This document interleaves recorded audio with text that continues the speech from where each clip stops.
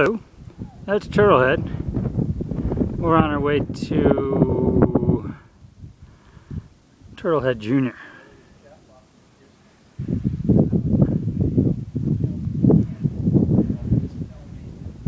I'm with Mike